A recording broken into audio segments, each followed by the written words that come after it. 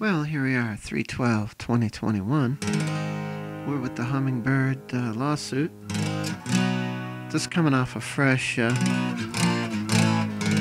bridge reset. Of course, before that, we put new bone and saddle, real bone and saddle in. Extensive truss rod adjustment.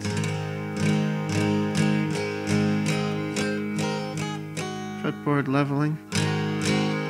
All that fun stuff. New strings twice. Alright, let's see what we can play on this thing.